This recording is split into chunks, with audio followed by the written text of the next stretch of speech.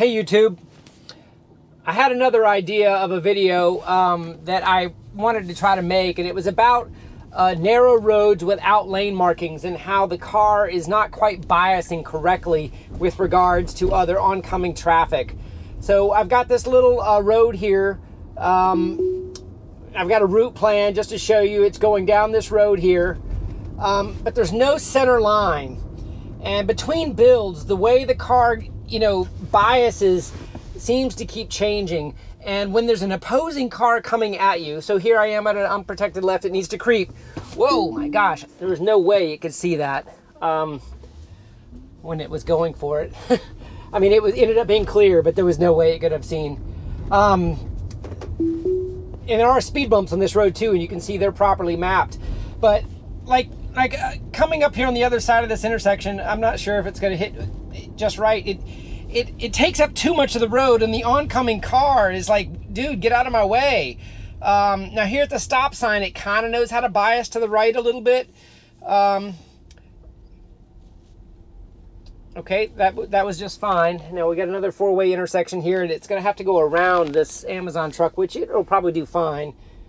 Very slow and inconsistent uh, there in the middle of the intersection. I don't like that commit. Very jerky.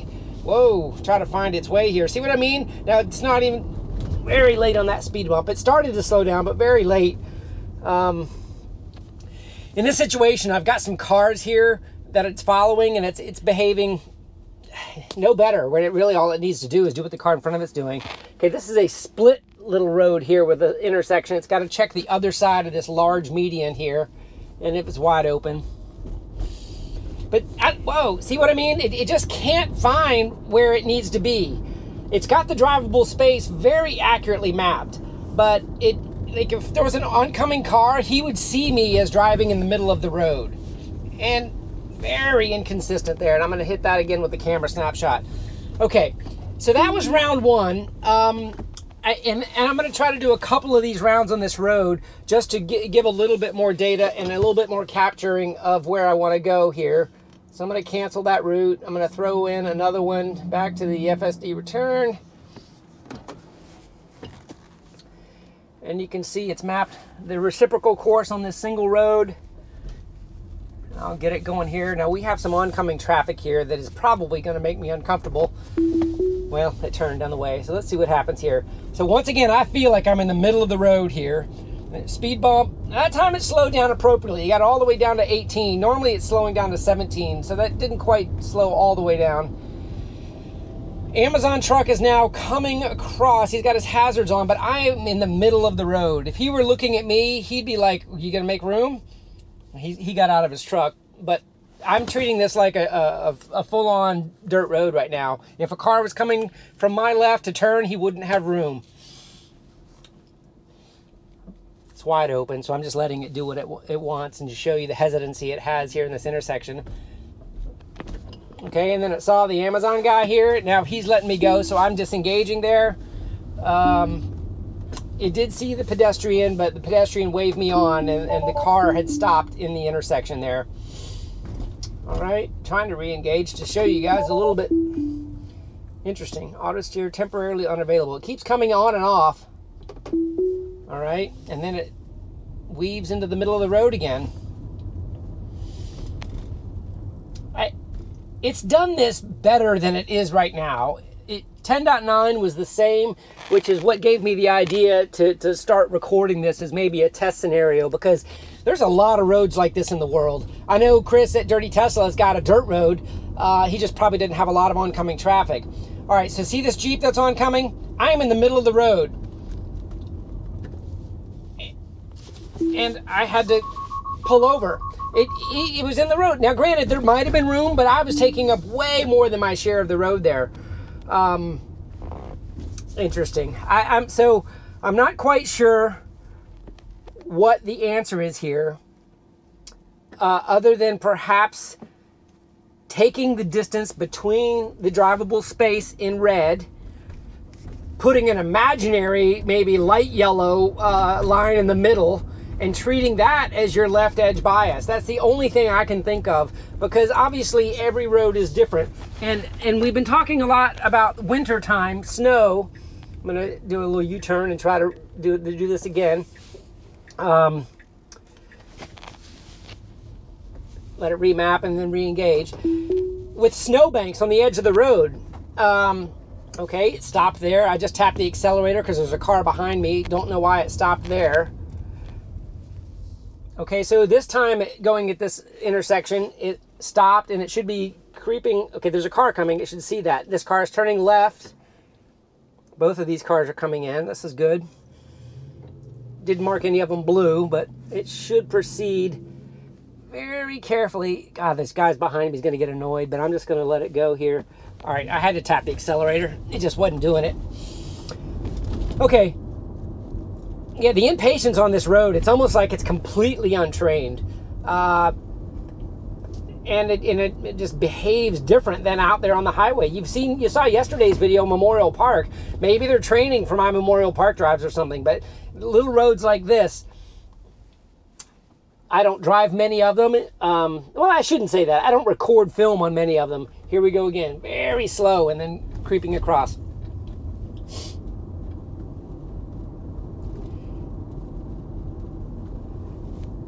I feel like I'm in the middle of the road, very late for that speed bump. Gosh. It sees it, it had it mapped, it just didn't decide to slow down. All right, double intersection again. Stopped at the stop line perfectly. Now it's just got to do the creeping and decision making and commit here. It's wide open. I can see clear as day. But it's acting like it is very unsure. A lot of trees, a lot of things it has to interpret okay, okay, look, we got an oncoming car again. I'm in the middle of the road. Okay, so I, I, that's what I'm talking about. It definitely is not getting out of the way in time. That, that oncoming driver needs to see me get out of the way. If I'm driving in the middle of the road when I'm by myself, that's fine. If I see a car up there, I'm going to move over and bias to the right. That's the way we would do this. Um, I, I'm, I'm not exactly sure why they would program it like this, or perhaps what we're witnessing is they haven't programmed it. Um, and this is just the way the neural networks handle it without specific training. Um, so, just in the nature of my love of repeat tests, I'm going to keep doing this one more time each direction to try to get a little bit more data to show everybody and, to, and report the bad ones. As soon as I engage, it goes to the middle. It, very slow on that speed bump again. I, now, you can see this car in the distance uh, with the forward facing cam for sure. And it just kind of jumped over to the left a little bit. It couldn't see if there's a car getting ready to turn right, but yet I'm using the whole road. Now look, he's getting ready to come all the way across and I'm gonna have to take over, I, I guarantee it. Okay, all right, I had to just do that because he needed room. It, it wasn't proceeding, it was waiting, but it was waiting in a spot that it was completely blocking the road. All right, re-engaged. Back to the middle of the road. Nobody has, nobody's coming, which is okay. Very late on the speed bump.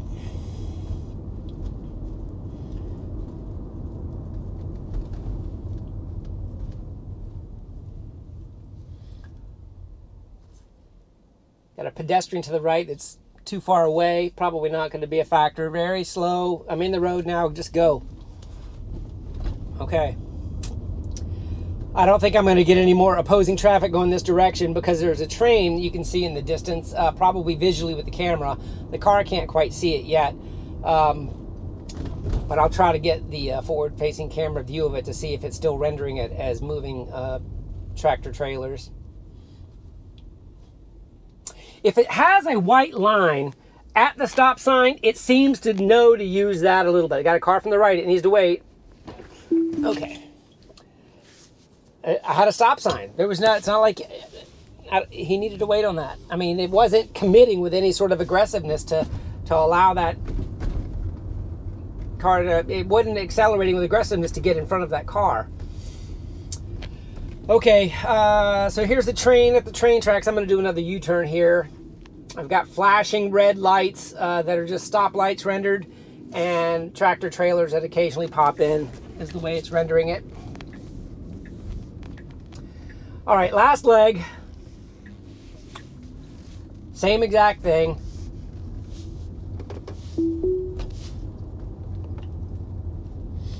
Little bit wider road here, but it still was hogging a little bit more than it needed. White line at the stop sign. Needs to slowly go around these bushes. I can't see anything yet. Okay, I can see clear left. It's clear, so it can go. All right, opposing cars here. This is exactly what I'm worried about.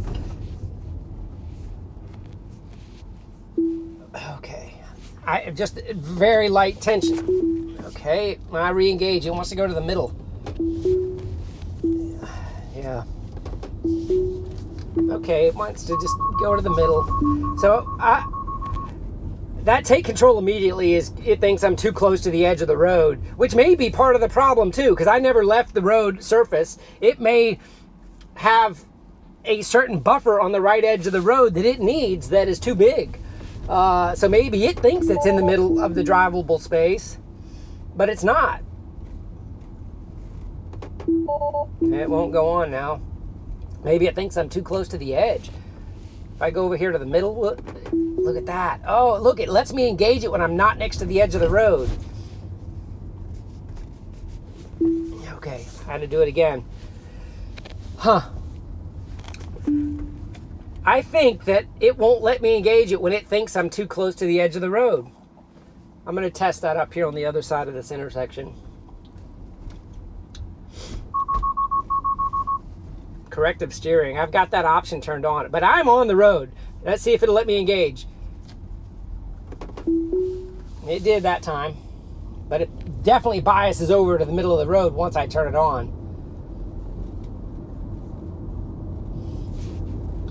Way too fast. Yeah, it's delayed that latency on that speed bump. If it's going to slow down to 17, it needs to slow down a few seconds, about another second earlier. Okay, well, that's all I've got for this road. Hopefully you could see what I was talking about. I'll try to render this for you guys and let you take a look. Please leave your comments below. Let me know what you think. Uh, this is my third video on FSD Beta 10.10. The first one was Memorial Park First Impressions Drive. I did an unprotected left video this morning. And then now um, this uh, City Streets with no lane markings in the center video, uh, I'll try to get together for you today. Have a great day, everybody.